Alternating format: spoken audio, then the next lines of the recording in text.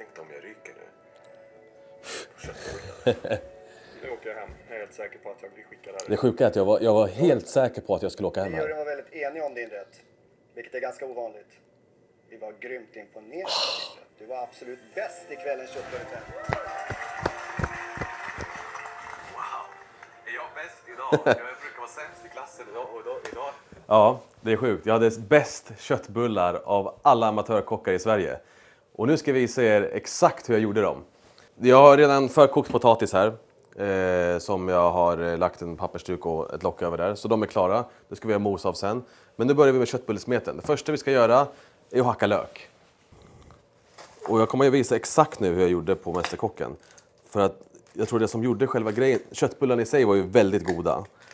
Men jag tror såsen var, det var den som gjorde sitt alltså. Eh, och då gjorde jag så här först, då hackade jag löken så här. Eh, Eh, ganska fint för den ska ju den ska ner i köttbullesmeten.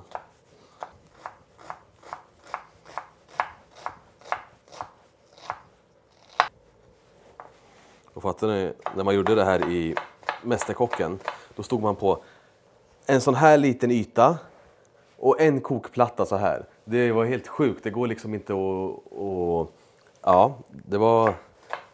Det var därför många liksom, de krackulerade under pressen där. Och sen den här nervositeten som man känner, den är ju helt, eh, den är helt skitsad. Det går inte att, att föreställa sig. Så där börjar vi med en stadig klick smör. Skjutsar vi löken här. Och medan den står och fräser lite sådär så börjar vi med de rårörda lingorna. I med socker. Och sen har jag de här på bänken ståendes bredvid mig. Och så rör jag lite i dem då och då. Typ så. Jätteenkelt. Löken här försöker vi svetta ur ganska ordentligt så att den blir söt och fin. Sådär, nu har löken karamelliserats fint här. Så lägger vi av den. Sen en sak som jag gjorde i Mästerkockarna, jag vet inte om det har någon betydelse. Det var att jag körde lite vatten i pannan. Glaserade av den på det här viset. Och sparade den här lökskyn till, eh, till såsen som vi ska göra sen. Rör vi lite i lingonen. Så att de blir rårörda och fina. Och sen, eh, nu börjar vi med köttbullesmeten. Och då gjorde jag så, då hade jag i rejäl dos med ströbröd. Och så en ordentlig skvätt med vispgrädde. Sen hade jag kallfond. Något sånt där. Svartpeppar. Och ganska ordentligt med svartpeppar. Salt. Nu kommer det här som kanske blev min unika touch på köttbullarna. Eh, då, för jag har ju libanesiskt ursprung.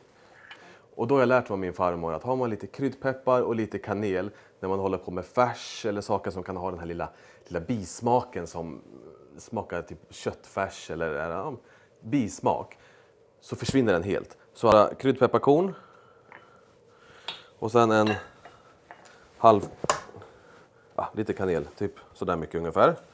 Och så mortlar vi det här tillsammans.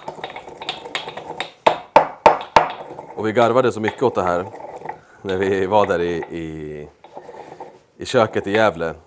Jag och Killan framför allt, Kristoffer. Vi stod och skrattade åt att jag, han tyckte att jag stod och dunkade som en galning. Så när jag stod så här så de som gick framför och hoppade till och vart eh, livrädda. Och det var lite, det är ett minne som vi har. Nu kör vi ner kryddpepparn och kanelen här. Och sånt där. Så blandar vi runt det här. Eh, och så i med löken. Eh, och så i med eh, färs, jag valde blandfärs. Eh, och så ett ägg. Hade jag stått själv i köket nu utan er som tittar på mig, då hade jag förmodligen geggat i med händerna. Men nu har jag faktiskt tagit fram en sked. För att det tycker Marcus att man ska göra.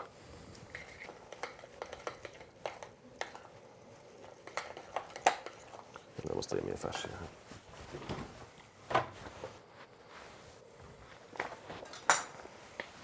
Och blandningen som jag gjort här inne nu, det är ungefär säg 60% färs och 40 ägg, ströbröd, grädde och allt. Så det är liksom ganska mycket utblandat. Och jag tror det är det som gör dem så saftiga, eller det är det som gör dem så saftiga. Och den sista lilla touchen, det är en dos av Kikkoman-soja. Eh, det får upp den här umami-boosten i eh, köttbullen.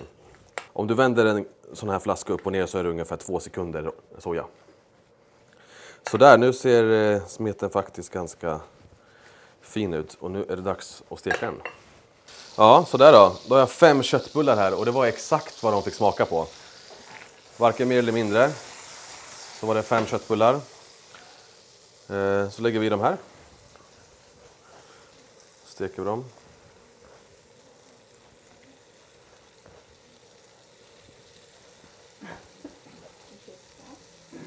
Eh, och grejen är att tiden var ju ganska knapp när vi stod och gjorde det här i, i köket i Gävle. Så liksom stresspåslaget var ju sjukt så man höll ju på med någonting hela tiden. Så nu till exempel medans köttbullarna stektes, då gick jag och började göra purén.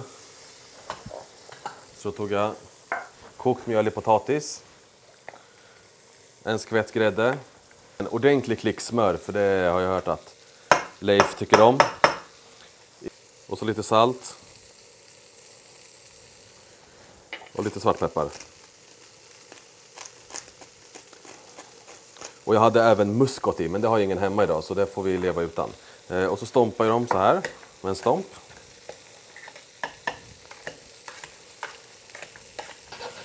Sen. Och nu har vi fått den här fina karamelliserade ytan som eh, vi vill ha för att det ska bli god smak till såsen sen också. Ja, och efter stompat moset så går jag in med ballongvispen och vispar runt så här bara. Och så smakar vi av. Lite mer salt.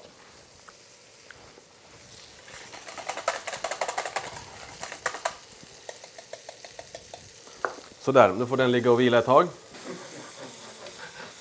Under tiden som mina köttbullarna går klart där så rör vi runt i lingonen igen, för det är rårörda lingon. De måste röras hela tiden. Alltså just när man stod där, då, då var det inte så... När man väl stod och höll på, då är man inte så nervös. För då är man ju inne i sin, de här i köttbullarna som måste bli så jävla goda, för annars eh, så får man tagga hem. Men eh, det är liksom den här precis när de ropar upp ens namn, när man står och väntar. Det är då det är, eh, det är katastrof. Men det var ju en sjukt skön känsla att få bli utnämnd till köttbullekung i Sveriges Mästerkock.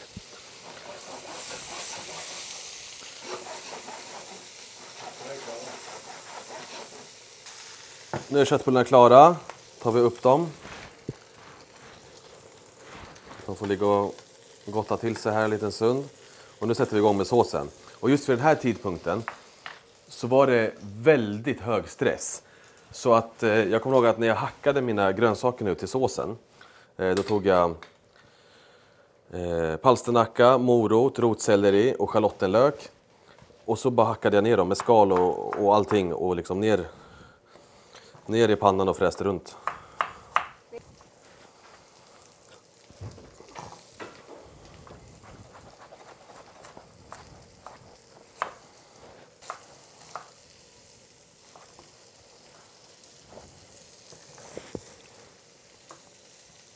Här. Alltså det var ju ganska sjukt att jag slängde ner allting med skal och, och så här i det. Men förmodligen så tillförde det någonting. För det vart ju uppenbarligen gott. Så vi provar det idag också. Tillsammans med det som var kvar i pannan efter jag hade stekt köttbullarna steker jag nu schalottenlök, morot, palsternacka och rotselleri.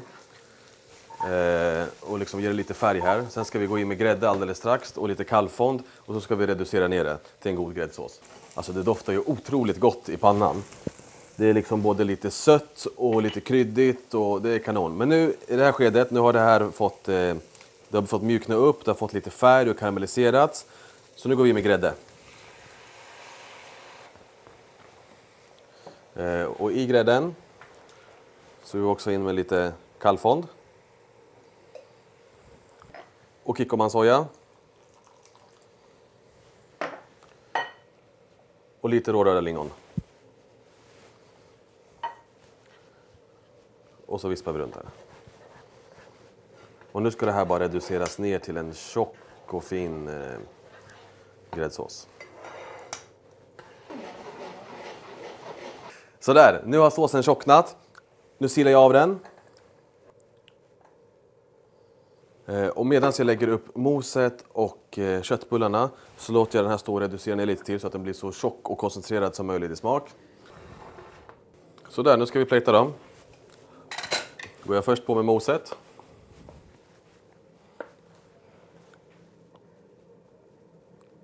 Vi klick i mitten. Och så fem köttbullar.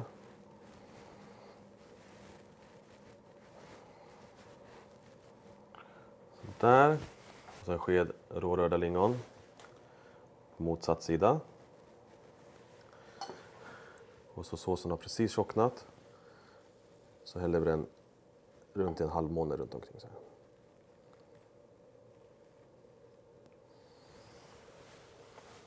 Ja, och här har vi då Roys mästerkockköttbullar smaksatta med kryddpeppar och kanel med en gräddsås, potatismos, rårörda lingon. Bam!